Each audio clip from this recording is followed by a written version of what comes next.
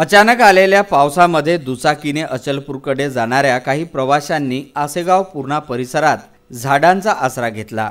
यात एका झाडाखाली तीन दुचाकीने जाणारे सहा जण उभे होते.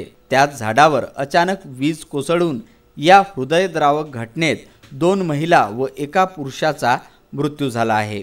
मिळालेल्या माहितीनुसार आसेगाव पूर्णाजवळ बुधवारी दुपारी तीन वाजताच्या सुमारास ही घटना घडली. बोपापूर येथील सोनाली गजानन बोकडे वय वर्ष पस्तीस. अचलपूरच्या विलायतपुरा येथील शोभा संजय गाटे वय वर्ष पंचेचाळीस आणि अंजनगाव सुरजी येथील सय्यद निजामुद्दीन सय्यद बदरुद्दीन वय वर्ष पस्तीस अशी मृतकांची नावे आहे.